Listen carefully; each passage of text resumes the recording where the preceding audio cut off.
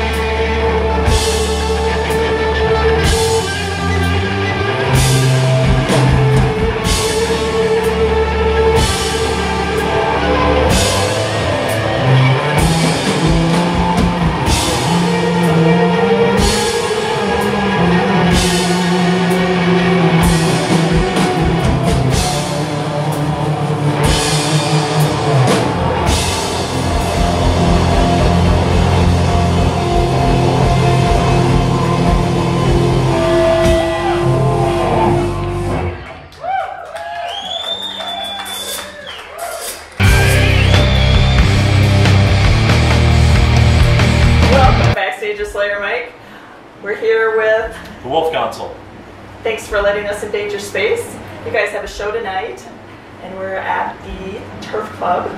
And you guys are nice enough to let us interview you before your, your show tonight. Absolutely. Thanks for coming out. Yeah, thanks for your interest. Yeah. So we've heard a lot about you. Um, let's introduce ourselves. Let's start over there. I'm Steve Post. I play bass and vocals. And, uh, yeah. I'm Jeff Paskey. I'm the drummer. Steve Williams, uh, guitar, vocals. So we got two Steves here tonight. Easy names to remember. So. Yeah. Uh, what other bands have you played in? Uh, years ago, I used to be in a speed metal band from Milwaukee called Realm. That was uh, we were on Roadrunner Records and released a couple of pretty decent records and toured a bunch.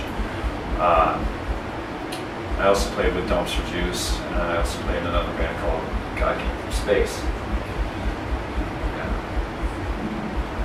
How about you two?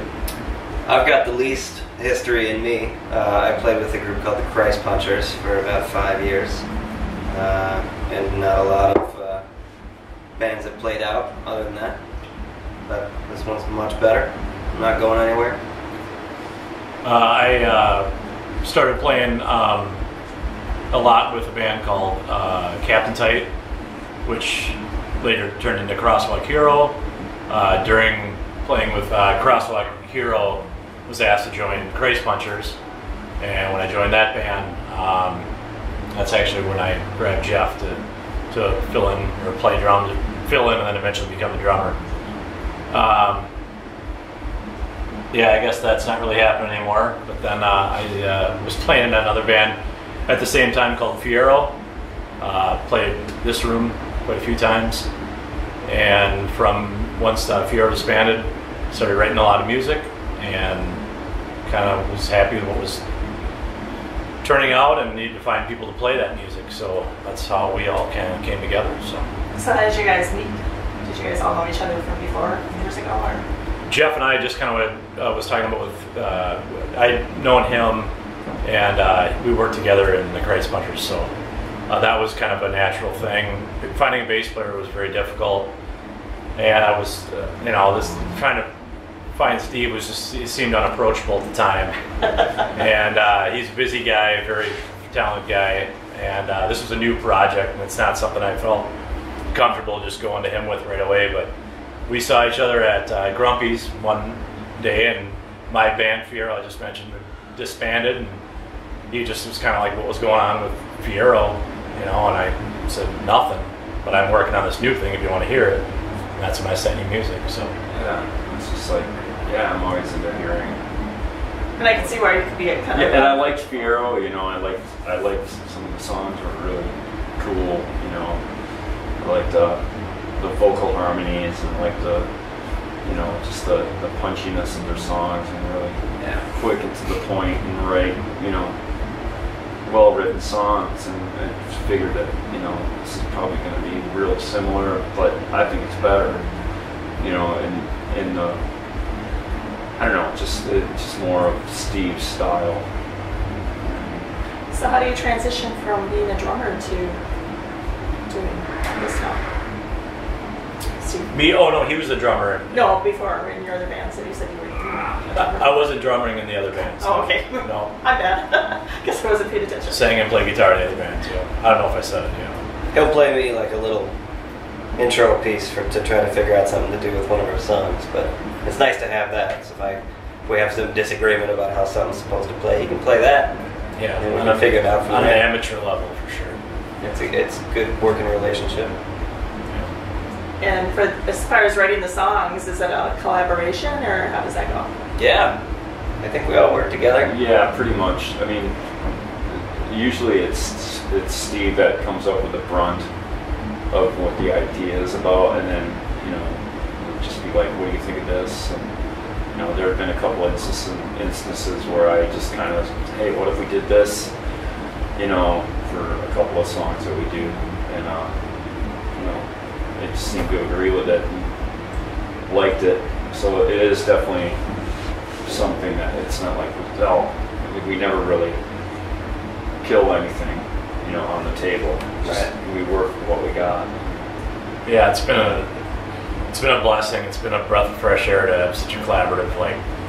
There's nothing weird. It's like one of the first bands that I've been in where yeah, that nobody's button heads. It's just very, very natural, and and it, for some reason, it seems like every idea that comes up is good from everybody. So we're lucky. That's good. That always makes that a little bit easier when you're writing your songs and so forth. Mm-hmm. So what in your album that you have that you're doing playing tonight? What uh, what is your favorite song in this that you're going to be playing tonight? Probably all different for everybody. I mean, Right. I, I don't know. I like all of them. I, I don't really have a preference. Do you have uh, do you have one where you could tell our fans what uh, what the collaboration was and how it, it came into being? And is there a story a story behind it? How did it come into being? Well, I think send help. You know, you obviously, I can tell there's certain body language that happens for certain songs. I can tell you really like playing send help, and that's one of the songs that he had just, you know, kind of he was talking about how we write. I had a very weak idea for a bass line for that song, and that was one of the first things that he worked on with us. So it's like when he said, "That's cool. Why don't we try this?" I was just like, I remember that, uh, that's one of those things I won't forget. And I was just like, "Oh, yeah, that's that's what I'm talking about." That's so that's something that sticks out for me, and I can tell that when you play it, it kind of comes out all over again. So. Yeah, well, it, the song kind of presents itself with all that. yeah. So "Send Help for the Rest" would be a, a song that I think you know. It's also the one that uh, you know, I guess is out there on sites to download and stuff like that. People seem to really like it. and your your genre? How would you classify? I like to call it kick-ass. that's always that's a new one for us. I tell people it's really Kick difficult. ass metal. I tell people that it's it's probably something that you haven't heard before, and it's not like this unbelievable like we're you know reinventing the wheel or anything. It's just that it really is a different genre. I mean, it's it's one of those things where we can the heavy people really like it. The people like the, the doom stuff seem to like it, but it's not so heavy where it's you know turns off the people that aren't into that kind of stuff. It seems to cross the board really well. So Yeah. it is different than anything else that's out there. We Who's, get, who's your influences and stuff on? Well, I mean, I listen to a lot of your music. I like it. I, I listen to it and I was listening at home. I think, God, this is kick ass. I got to interview these guys, you know. So that's why we pushed it so hard to get you guys to, to do this, you know. Um, I like it. So Yeah, we discovered you. Well, it's like wow, we got go to it. your band You're camp. definitely to going it. to hear a lot of, you know, like kind of Melvins big business yeah. in our music. We, we really like those bands a lot. Fugazi, High on Fire, Yeah. those are all like You're going to hear more of that just straight up hard rock, you know, and cool like vocal, vocal harmonies, you know, just, you know, that all the way. Right. That's exactly it. A little bit of the the sword and Queens of the Stone Age, also in terms of influences. So, uh, for the new upcoming uh, bands that are coming through on the underground scene, what kind of uh, what would you give them as far as tips to how to get to where you guys are now? Any You words of guys seem advice for them? all Perseverance, Perseverance. You You have know, to play everywhere, so. Just keep doing it, you know. Nothing will ever fall in your lap. It's it's super hard work. It's like really uh, something you need to be on constantly. Uh, you have to have good music. Uh, Yeah. you know, You need somebody like Steve to do all your It's a lot- promotion for you. it's a lot of work. He's work. always on it for us. you got to get your name out there. And there's too many good bands out there. There's, you know, we're playing with great bands tonight. So far, since the, you know, creation of this band, it's like every show that we've played, almost every band that we've been lucky to play with, has been phenomenal. So you just, you just got to get your name out there. Right. So Make the old adage, we have to work at it. Yeah, Yeah, it takes work, but, and, you know, if you really want it to happen, you, you gotta keep doing it. So you guys were lucky enough to find each other.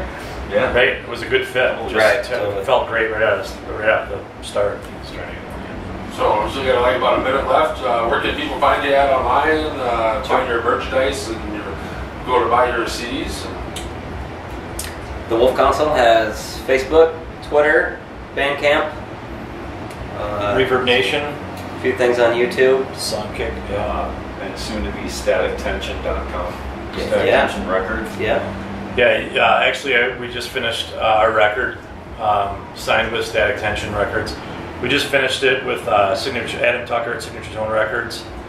Um, you can actually get the pre-sale right now um, for CDs, bundles, records, all kinds of stuff uh, at Bandcamp or at statictension.com. Always goes so fast. Uh, so for our fans that aren't fortunate to be here tonight, where is your next gig going to be at? Grumpy's downtown, 111, 1111 Washington Avenue. Yep, we have a residency all month long, every Saturday of, uh, in January. We've got four more, um, and you know our names out there. Like you said, you saw us kind of all over. Yeah, we've got uh, Hexagon shows, Triple Rock shows, um, a bunch of stuff coming up. So So if you miss them tonight, that's where they're going to be all month long, Grumpy's. Thank you very much for letting us invade your space. Oh, yeah. goes so fast. I wish we had more time. Yeah. Thanks, Larry Mike.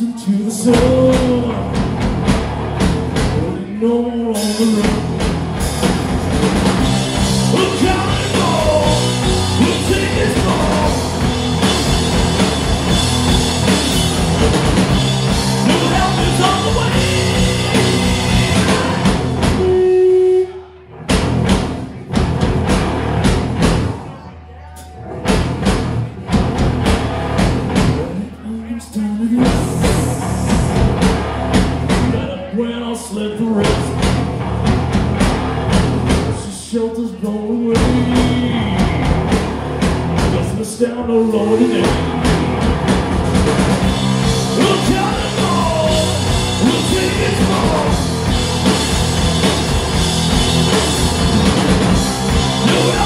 The way.